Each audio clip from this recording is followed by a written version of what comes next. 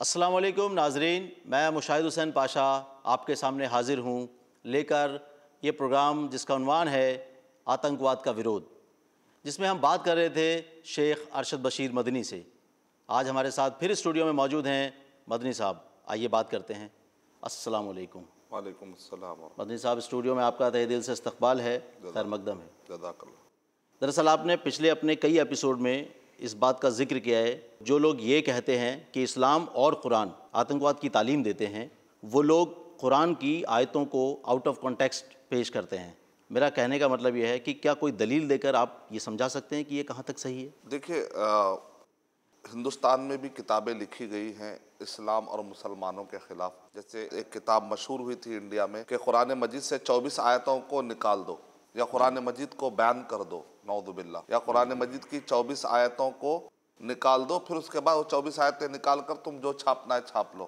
تو جب ان سے پوچھا گیا کہ بھئی چوبیس آیتیں نکالنے کی بات کیوں کہہ رہے ہیں تو وہ کہہ رہے اس کے اندر دیکھو اس کے اندر مشرکوں کے مارنے کا حکم آیا ہے۔ تو ہم ان سے کہتے ہیں کہ آپ آؤٹ آف کانٹیکس پڑھ رہے ہیں۔ وہاں پر ایک پرٹیکولر ظلم کرنے والے مشرکوں کی بات ہو رہی ہے۔ جی۔ پرٹیکولر ظلم کرنے والے مشرکوں کی بات ہو رہی ہے۔ جنہوں نے معاہدہ کیا تھا معاہدہ توڑ دیا پھر اس کے بعد انہوں نے ظلم کیا اتیاچار کیا اور وہ ظالم بن چکے تھے۔ مکے کے اطراف میں وہ لوگ پائے جاتے تھے۔ وہاں پر بھی کئی قبیلے مشرک تھے جنہوں نے عہد و پیمان نہیں توڑا تھا۔ ان کے ساتھ تو لڑائی کی بات بھی نہیں کی گئی بلکہ قرآن مجید میں جہاں کہیں پر بھی آپ غور کریں گے تو آؤٹ آف کانٹیکس سیاق و سباق توڑ کر بتایا جاتا ہے۔ ایک مثال دے کر میں سمجھاتا ہوں۔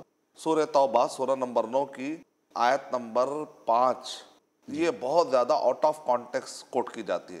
چوبیس آیتوں میں سب سے زیادہ آؤٹ آف کانٹیکس سیاق و سباق توڑ کر، مروڑ کر جو معنی نکالنے کی کوشش کی جاتی ہے، وہ سورہ توبہ نمبر نو کے آیت نمبر پانچ میں یہ ہے کہ فَإِذَنْ سَلَخَ الْأَشْهُرُ الْحُرُمُ، کہ جب حرمت والے مہینے پار ہو جائیں، تو ایسے وقت پر تم مشرقین کو قتل کر دو جہاں کہیں پر بھی تم پاؤ۔ تو دیکھو یہاں پر آ رہا ہے کہ اب جہاں کہیں پر بھی پاؤ تم قتل کر دو۔ تو ہم کہیں گے کہ آپ کم سے کم اس سے پہلے کی آیت یا اس سے بعد والی آیت پڑھ لو تو معنی سمجھ میں آ جائے گا۔ اس سے پہلے کی آیت میں بتایا جا رہا ہے سورہ توبہ سورہ نمبر نو کے آیت نمبر چار پڑھ لیں گے تو یہ معنی سمجھ میں آ جائے گا۔ فَأَتِمُّوا إِلَيْهِمْ عَهْدَهُمْ إِلَى مُدَّتِهِمْ۔ کہ جن لوگوں نے تم سے عہد و پیمان نہیں توڑے ہیں ان کے ساتھ معاہدہ پورا کرو ان کے ساتھ عہد پورے کرو ان کے ساتھ جو ایگریمنٹس ہے پورے کرو۔ وہاں پر بھی تو مشرقین ہی چھے بالکل۔ تو جو مشرقین یہاں پر معاہدہ توڑ رہے ہیں، ایک پرٹیکولر مشرقین پرٹیکولر ریجن کی بات ہو رہی ہے۔ اور اس کے بعد کی آیت بھی اگر پڑھ لیں گے؟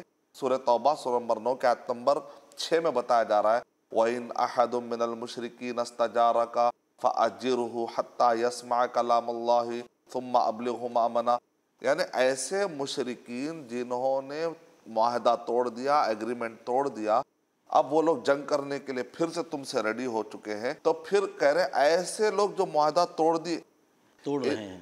توڑ دی توڑ کر آپ سے لڑائی شروع بھی کر دی ہے۔ آپ کو اچانک دیکھتے ہیں کہ لوگ معاہدہ توڑ دے اور جیسے کہتے ہیں کہ پیٹ پیچھے سے چھرا گھونپنا۔ تو معاہدہ تھا تو آدمی کیا ہوتا امن سے ہو جاتا ہے معاہدہ کرنے کی وجہ سے ایگریمنٹ کرنے کی وجہ سے آدمی کیا ہوتا ہے سکون میں رہتا ہے۔ اچانک دیکھتا ہے کہ وہ معاہدہ توڑ رہے دھوکہ دے رہے پھر آپ کو طاقت آ جاتی ہے ان کے اوپر۔ ان کے اوپر پھر آپ کو طاقت ملتی ہے۔ اس دوران پھر وہ لوگ آپ سے کیا کرتے ہیں؟ آپ پھر معاف کر دو۔ نہیں ہم سب سے نہیں کرتے۔ تو قرآن مجید کیا کہہ رہا ہے؟ دیکھیں اگر یہ معاہدہ توڑنے والے مشرقین اگر تم سے امن مانگے تو تم ان کو امن دے دو۔ اچھا الحمدللہ۔ یعنی کہ معاہدہ توڑنے والے مشرقین بھی اگر تم سے امن مانگے تو تم ان کو امن دینا ہے۔ کون سا ایسا ریلیجن ہے؟ کون سا ایسا کانسٹیٹیوشن ہے جو اتنے زیادہ امن کی بات کرتا؟ ہے وَإِنْ أَحَدٌ مِّنَ الْمُشْرِكِينَ اسْتَجَارَكَ فَأَجِرْهُ حَتَّى يَسْمَعَ كَلَامَ اللَّهِ۔ یہاں تک کہ قرآن مجید کو سن لے ہو سکتا ہے کہ اب اسلام قبول کر لے۔ کیونکہ اسلام اتنے موقع کیوں دیتا ہے؟ بار بار کیونکہ اسلام مار کر جہنم میں پھینکنے کے لیے نہیں آیا۔ محمد صلی اللہ علیہ وسلم سب کو مار کر جہنم میں پھینکنے کے لیے اگر آتے تو فتح مکہ کے موقع پر نبی اکرم صلی اللہ علیہ وسلم کسی بھی کافر کو نہیں چھوڑتے تھے۔ بالکل نہیں چھوڑتے۔ آپ نے کہا کہ جاؤ تم سب آزاد ہو۔ اگر مشرقین کو مار دینا اگر آپ یہ کہیں گے تو پھر نبی صلی اللہ علیہ وسلم فتح مکہ کے موقع پر کبھی بھی اعلان نہیں کرتے تھے۔ اگر کوئی کہے نہیں یہ تو آیت نو ہجری کی ہے۔ تو ہم کہیں گے دس ہجری میں پھر نجران کے ساتھ نبی اکرم صلی اللہ علیہ وسلم نے معاہدہ کیا۔ جو یمن اور سعودی عرب کے درمیان نجران کا ایریا ہے وہاں پر عیسائی رہتے تھے۔ انہوں نے آ کر کہا اللہ کے نبی صلی اللہ علیہ وسلم آپ سے معاہدہ کر کے رہنا چاہ رہے ہیں۔ تو ظاہر بات ہے وہ غیر مسلم تھے۔ تو نبی اکرم صلی اللہ علیہ وسلم نے ان سے معاہدہ کیا۔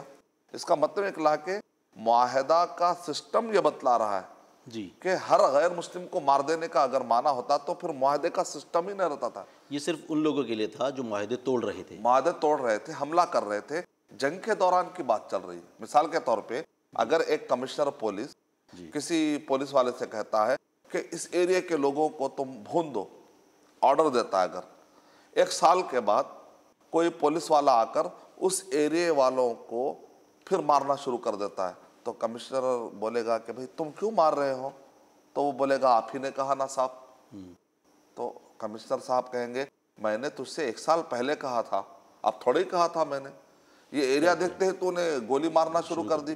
یہ ایریا وہی ہے یہ ایریا تو وہی ہے۔ لیکن وہ ایک سال پہلے کا کانٹیکس تھا جس وقت پر یہ آتنکواد کا کچھ مرحلہ چل رہا تھا تو میں نے یہاں پر گولی چلانے کے لیے کہی تھی تجھ سے۔ اگر کوئی کمانڈر یا کوئی فوجی اگر کوئی گولی چلانے کے لیے کہتا ہے تو اس کا ایک کانٹیکس ہوتا ہے۔ یہ نہیں کہ اس ورڈ کو استعمال کرتے ہیں آپ جب چاہے استعمال کریں۔ وہ صورتحال وہ پرٹیکولر ہوتی ہے۔ وہ صورتحال میں حکم دیا گیا تھا اس کا ذکر ہو رہا ہے۔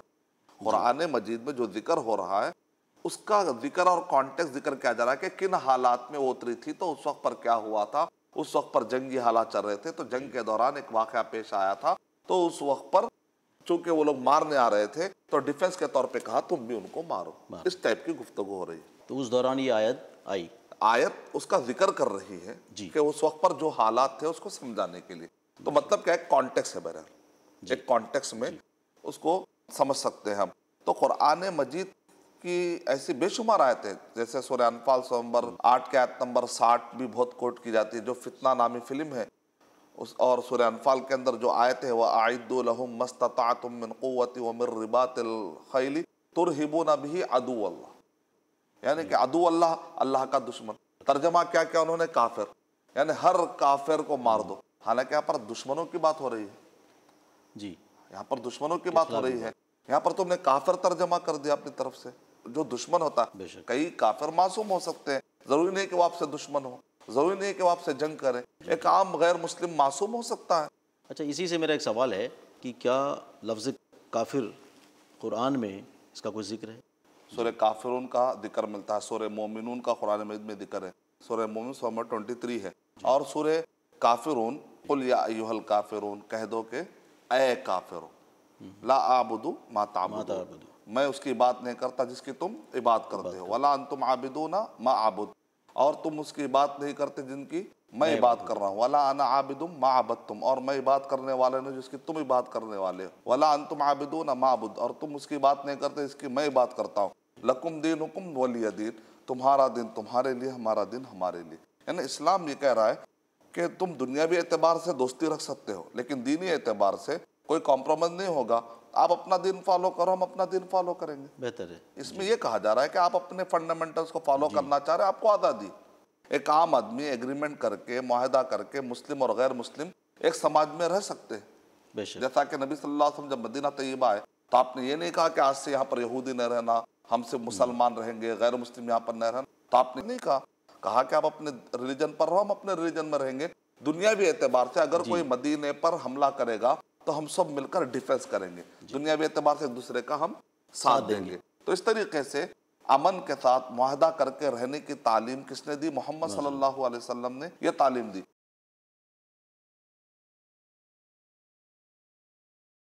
تو یہاں پر بعض لوگوں نے ترجمہ کیا کر دیا؟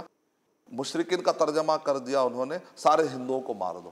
جبکہ وہاں ہندو اس وقت قرآن مجید میں ہندو کا ورڈ کہاں ہے؟ ایک مرتبہ بھی قرآن مجید میں ہندو کا ورڈ آیا ہی نہیں۔ اور ہندو کہہ کر ریلیجن کا ورڈ تو ویدوں میں بھی نہیں آیا۔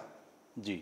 یعنی اصل میں یہ ہندو جو ورڈ ہے یہ ایک جغرافیکل ٹرم ہے۔ ریلیجن کے طور پر پرانی کتابوں میں ہندو ریلیجن کہہ کر کوئی ورڈ تو ویدوں کے اندر بھی نہیں آیا۔ تو قرآن مجید میں کیسے آئے گا؟ یہ تو بہت بات کی پیداوار۔ ہے تو اس لیے سمپل سمجھنے کی یا تو ترجمہ غلط کیا جا رہا ہے۔ یا دشمن کا ترجمہ کافر کہہ کر لوگوں کو مسگائڈ کیا جا رہا ہے یا غیر مسلم کہہ کے مسگائڈ کیا جا رہا ہے۔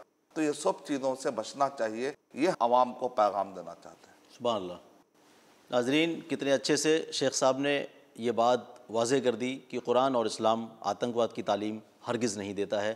جو لوگ قرآن کی آیتوں کو آؤٹ آف کانٹیکس کوڈ کرتے ہیں وہ غلط کرتے ہیں۔ شیخ صاحب اسی تعلق سے میرا اگلا سوال ہے کہ جہاد ظالم کے ہاتھ کو پکڑنے کا نام ہے۔ آپ نے ایسا پچھلے ایپیسوڈ میں کہا تھا۔ آپ نے یہ بھی کہا تھا کہ جہاد مسلمانوں کے خلاف بھی ہو سکتا ہے اور ہوتا ہے۔ آپ اس کو کس کانٹیکس میں دیکھتے ہیں؟ قرآن کے حوالے سے بتائیں گے۔ بالکل۔ جہاد کا معنی ہے ظالم کے ہاتھ کو پکڑنا چاہے وہ ظالم مسلمان ہو چاہے ظالم غیر مسلم۔ غیر مسلم۔ اس کا مطلب جہاد نام ہے ظلم کو معاشرے سے ختم کرنے کا۔ جہاد نام ہے معاشرے میں امن قائم کرنے کا۔ جہاد نام ہے دہشت گردی کے خاتمے کا۔ جو بھی غیر مسلم اس کو مار دو۔ یہ جہاد کا ٹاپک نہیں ہے۔ وہ اگر ویسا رہتا تو نبی صلی اللہ علیہ وسلم طائف کے میدان میں ان کو چھوڑتے نہیں تھے جنہوں نے ستایا۔ فتح مکہ کے موقع پر نبی صلی اللہ علیہ وسلم معاف نہیں کرتے۔ تو جہاد کا اصل ٹاپک ہے ظالم کے ہاتھ کو پکڑ لینا۔ اس کی آپ نے کہا مثالیں دو میں دو مثالیں دوں گا۔ ایک تاریخ سے ابو بکر رضی اللہ تعالیٰ عنہ کی زندگی سے۔ اور دوسری قرآن مجید کی آیت سے سورہ حجرات سے۔ تو ابو بکر رضی اللہ تعالیٰ عنہ جب خلیفہ بنے تو انہوں نے کیا کیا؟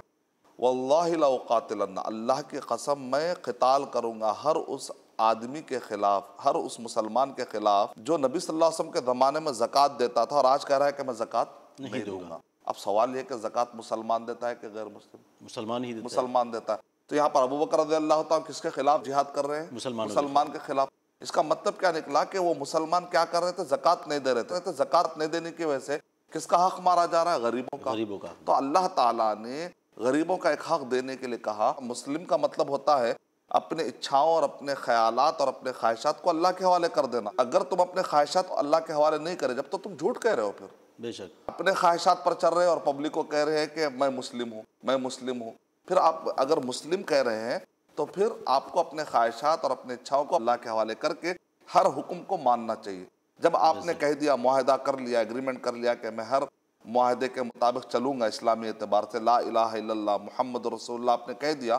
تب آپ زکوٰۃ دینے کی باری آتی ہے تو آپ کہتے ہیں کہ میں زکوٰۃ نہیں دوں گا۔ تو اسلام میں کیا بتایا گا کہ ایسے لوگوں کے ساتھ تم جا کر وہ حق چھین کر لاؤ اور جا کر غریبوں کو دو۔ تو ابو بکر رضی اللہ تعالیٰ کیا کہتے ہیں؟ میں قتال کروں گا۔ تو یہاں پر زکوٰۃ نہیں دینے والے مسلمانوں کے خلاف بھی جہاد ہو رہا ہے۔ جی۔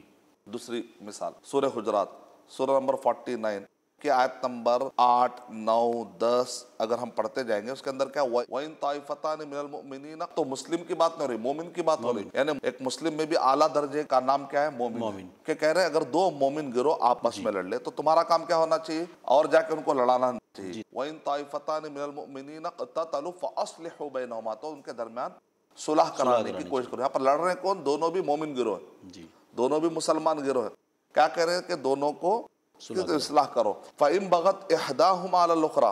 اگر ایک گروہ دوسرے گروہ پر زبرستی کرتا ہے تکلیف دیتا ہے بغاوت کرتا ہے چڑھائی کرتا ہے یعنی کہ ناحق ظلم کرنے کی کوشش کرتا ہے۔ فَإِن بَغَتْ إِحْدَاهُمَا عَلَى الْأُخْرَى فَقَاتِلُ الَّتِي تَبْغِي حَتَّى تَفِيَ إِلَى أَمْرِ اللَّهِ تو تم سب مل کر جو بغاوت کرنے والا مومن گروہ ہے۔ کون سا گروہ ہے؟ مومن گروہ۔ مومن گروہ کے خلاف تم لڑو۔ حتیٰ تفیہ الى امر اللہ یہاں تک کہ اس کو زبرستی کر کے اس کو حق کی طرف لے کر آؤ۔ سچے راستے کی طرف واپس لے کے آؤ۔ اب وہ بھٹک رہا ہے۔ جی۔ غلط راستے پر جا رہا ہے۔ ظلم کر رہا ہے۔ تو اس کے ظلم کو ختم کر کے تم واپس حق کی طرف لے کر آؤ۔ تو یہاں پر پورے مسلمانوں سے کہا جا رہا ہے مومنوں سے کہ تم سب مل کر کس کو وہ باغی گروہ جو گروپ بغاوت میں جا چکا ان سب کو کیا کرو واپس حق کی طرف لے کر آؤ سچے راستے کی طرف لے کر آؤ۔ تو یہاں پر فورس کا استعمال ہو رہا ہے۔ جی۔ قتال کا ورڈ آیا ہے مومن کا ورڈ آیا ہے۔ اس کا مطلب جہاد جو مومن کے خلاف بھی ہوتا ہے۔ مسلم کے خلاف بھی ہوتا ہے اور غیر مسلم کے خلاف بھی ہوتا ہے۔ اگر کانٹیکس میں دیکھا جائے تو اس کا سیدھا سیدھا مطلب یہ ہے یعنی کہ ظالم کے ہاتھ کو پکڑ کے اس کے ظلم سے اس کو روک دینا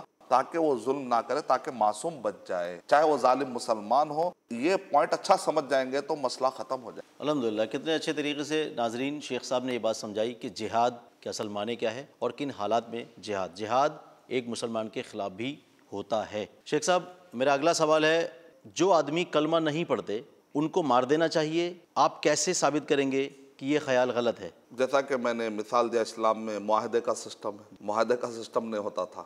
اوکے۔ غیر مسلموں کے ساتھ نبی صلی اللہ علیہ وسلم نے یہودیوں کے ساتھ معاہدہ کیا۔ نبی اکرم صلی اللہ علیہ وسلم نے نجران کے عیسائیوں کے ساتھ معاہدہ کیا ایگریمنٹ کیا۔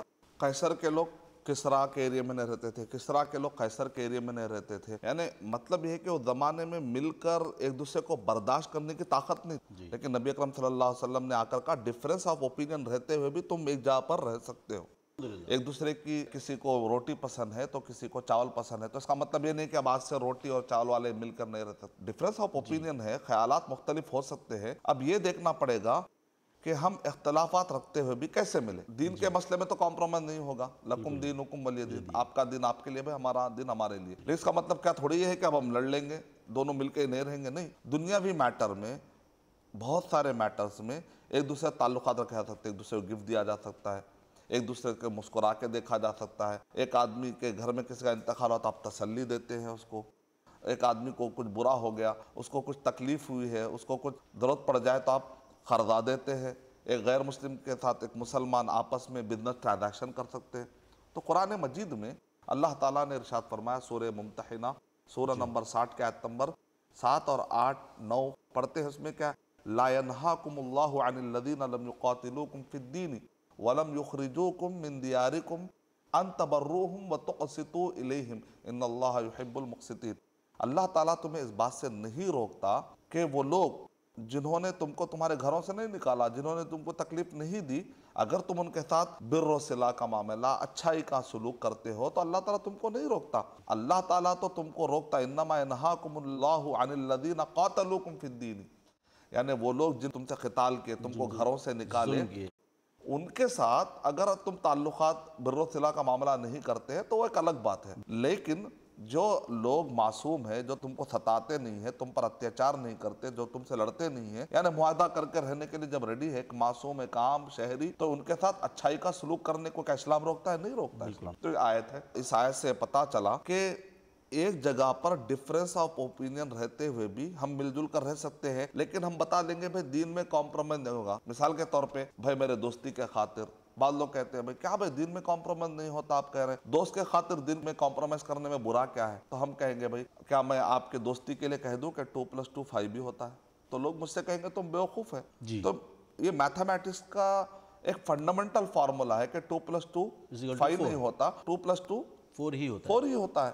ٹو پلس ٹو تھری نہیں ہوتا۔ آپ ٹو پلس ٹو تھری میں غصے میں آ کر کہوں ٹو پلس ٹو تھری نہیں ہوتا ٹو پلس ٹو فائیو ہوتا ہے۔ تو میں کہوں گا یہ کون سا جواب ہوا بھائی؟ گویا کہ آپ یہ کہنا چاہتے ہیں کہ وہ اپنے مذہب پر رہیں اور ہم اپنے مذہب۔ ان کی وجہ سے ہم ان کے مذہب کی چیزیں فالو نہ فالو نہ کریں۔ اور اپنی وجہ سے ہم ان کے مذہب کو نہ فالو کریں۔ بس۔ تو دین کے مسئلے میں کوئی کمپرومائز نہیں ہوگا لیکن دنیاوی اعتبار سے تعلقات رکھے جا سکتے ہیں۔ اگر کوئی ظلم کرتا ہے تو مسلم اور غیر مسلم دونوں مل کر اس ظلم کرنے والے آدمی کے خلاف لڑ سکتے ہیں تو اس طریقے سے ہم معصوموں کی حفاظت کر سکتے ہیں۔ تو یہ کتنا اچھا نظریہ ہے۔ ایک بیلنس ہے۔ ایک طرف سی تعلیم پائی جاتی ہے کہ دونوں کمپرومائز کر لو اور پورا گڈمٹ کر لو دین ختم ہو۔ دوسری طرف خیسر و کسرا کے لوگ ایک دوسرے کو برداشت بھی نہیں کر رہے دنیاوی اعتبار سے بھی۔ نبی اکرم صلی اللہ علیہ وسلم نے درمیانی تعلیم دی۔ اسلام کیا ہے؟ اعتدال کا مذہب۔ امت وسط ہے درمیانی راہ بتائی کہ جو انسان کے لیے پازیبل ہے چلنا۔ تو اس لحاظ سے ہم کہہ سکتے ہیں کہ ڈفرنس آف اوپینین تو اب آپ کہیں گے بھائی سٹی میں تو ڈفرنس آف اوپینین ہو سکتا ہے۔ کیا گھر کے اندر بھی ڈفرنس آف اوپینین ہو سکتا ہے؟ ہو سکتا ہے۔ ہو سکتا ہے۔ سورہ لقمان سورہ نمبر اکتیس کے آیت نمبر پندرہ میں اللہ تعالیٰ ارشاد فرما رہے ہیں کہ ماں باپ اگر تمہارے اسلام قبول نہیں کیے اور وہ تم کو کہتے ہیں کہ تم شرک کرو بچوں کو چاہیے کہ ماں باپ کی فرما برداری نہ کرے اطاعت نہ کرے۔ اب گھر کے اندر ڈفرنس آف اوپینین آ گیا دیکھیے۔ ماں باپ کہہ رہے ہیں کہ شرک کرو بچے کہہ رہے ہیں کہ ہم شرک نہیں کرتے۔ تو کیا ماں باپ کے خاطر شرک کر لیں گے؟ نہیں کریں گے کیونکہ ہم کمپرومائز نہیں کر سکتے۔ لیکن اللہ تعالیٰ کیا کرے؟ چونکہ تمہارے ماں باپ شرک کرا رہے لہذا ان کے ساتھ بے عزتی کرو ذلیل کرو نہیں۔